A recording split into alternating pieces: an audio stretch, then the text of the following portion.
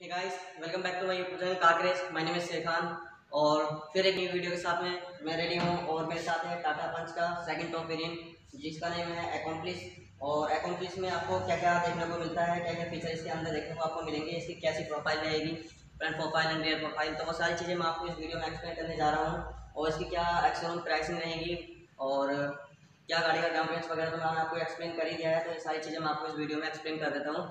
चलिए स्टार्ट करते हैं। चलिए इस पहले बात कर लेते हैं इसकी एक्सटर्नल प्राइसिंग तो एक्सटर्नल प्राइसिंग अगर हम इसकी बात करें कंपनी वेरियंट की तो इसकी जो एक्सटर्नल प्राइसिंग है वो seven lakh twenty nine thousand आपको देखने को मिलेगी। सबसे पहले बात कर लेते हैं इस गाड़ी की की की।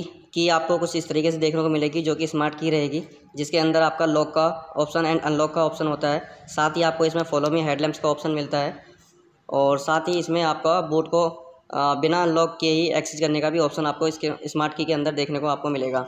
तो टाटा पंच के जो आपका सेकंड टॉप वेरिएंट रहेगा, उसमें आपको दो स्मार्ट की मिलेंगी, जो कि इस तरह की आपको की देखने को मिलती हैं। प्रोफ़ाइल की, अगर फ्रंट प्रोफ़ाइल की हम बात करें तो सबसे पहले आपको देखने को मिलेगा सेंटर में टी का लोगो एंड वाइड एंगल में आपको एक काफ़ी बड़ी सी गिल शेप मिलती है।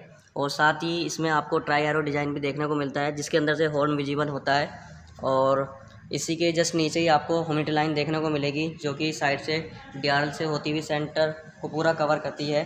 एंड इसमें जो आपको डी देखने को मिलेंगे डी वो आपको एल ई नहीं होंगे ओनली इसमें हेलोजन बल्ब होगा। एंड साथ ही साथ आपको इसमें टर्न इंडिकेटर आपको देखने को मिलता है।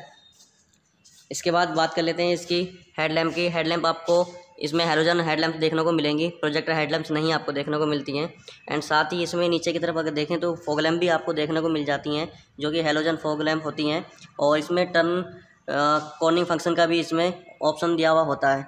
और साथ ही इसमें आपको नीचे काफ़ी वाइड एंगल में ग्रिल देखने को मिलेगी, जिसमें ट्राई एरो का डिज़ाइन आपको देखने को मिल जाता है। तो फ्रंट प्रोफ़ाइल इसकी काफ़ी अग्रेसिव सी रखी हुई है, जो कि काफ़ी मस्कुलर सी देखने को लगती है। अगर साइड प्रोफ़ाइल में हम बात करें तो आपको इसमें आपको हाइपर व्हील देखने को मिलते हैं।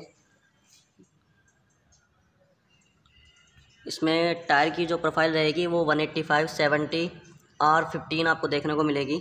और ये एलोई नहीं है, ये हाइपर व्हील है। यानी इसकी जो रिम की जो डिज़ाइनिंग की गई है, वो एक व्हील कवर के अकॉर्डिंग ही डिज़ाइन की गई है, जो कि काफ़ी अच्छी लग रही है देखने के लिए।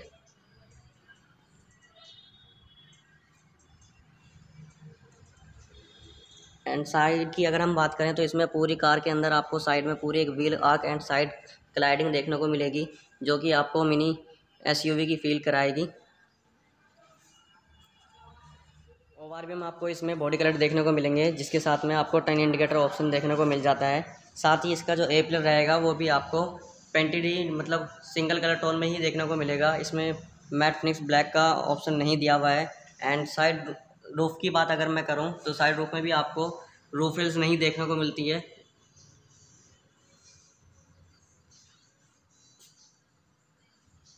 एंड बात करें इस गाड़ी के ग्राउंड कैंस की, गाड़ी का ग्राउंड कैंस आपका वही same one eighty seven M का आपको देखने को मिलता है।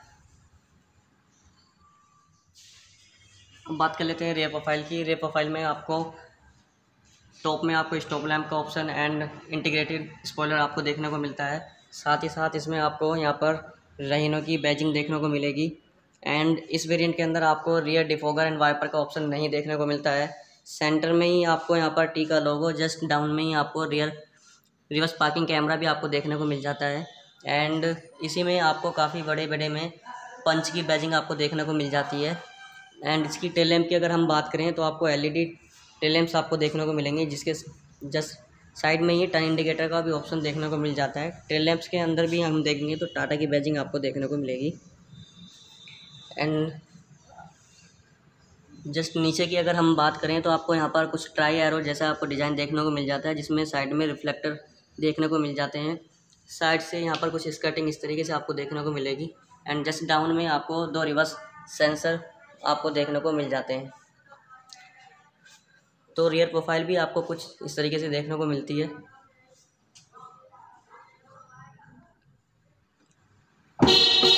बोट स्पेस आपको सेम एडजिस वही देखने को मिल जाता है, जो मैंने अभी टॉप वेरियंट के वीडियो में एक्सप्लेन किया था एंड पार्सल ट्रे भी आपको इसी वेरिएंट में भी देखने को मिल जाती है। साइड के डोर हैंडल पे भी आपको रिक्वेस्ट सेंसर देखने को मिलेगा, जैसे कि आपने टॉप रेंट में देखा है एंड अब देख लेते हैं इस गाड़ी के इंटीरियर को। डोर जैसे कि मैंने आपको बताया 90 डिग्री डोर ओपन आपको इस वेरिएंट के अंदर भी आपको देखने को मिलेंगे। एंड डुल टोन आपको इस वेरिएंट में भी देखने को मिल जाता है। फोर पार विंडो एंड इसी वेरिएंट में भी आपको push button start idle stop start and दोनों मोड्स वो देखने को मिल जाते हैं। एंड सेवन इंच का इंफरटेनमेंट जो कि हरमन कार्डन का है।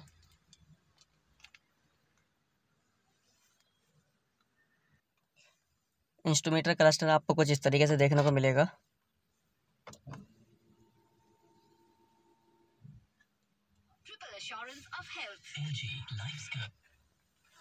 Steering mounting control and cruise control भी आपको इस वेरिएंट के अंदर देखने को मिल जाते हैं।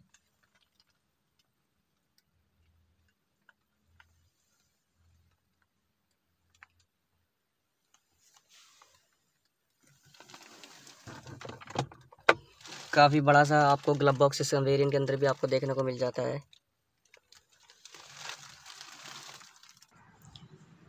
रियर डोर भी आपको 90 डिग्री ओपन देखने को मिलेगा।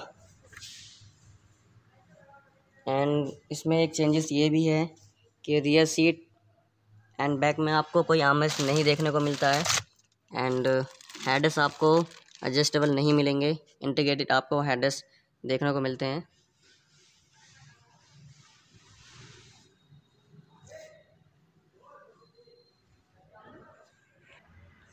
तो फ्रेंड्स, मैंने जो इस कार के आपको फ़ीचर जो हैं, आपको टॉप रेंट में और इसमें क्या फ़ीचर नहीं है और इसमें आपको किस तरीके इसकी गाड़ी की लुक देखने को मिलेगी, वो सारी चीज़ें मैंने आपको इस वीडियो में एक्सप्लेन कर दी हैं। तो दोस्तों, मेरी वीडियो आपको अच्छी लगी हो तो प्लीज़ मेरे चैनल को सब्सक्राइब कर दें लाइक करें एंड कमेंट भी करें। Thank you so much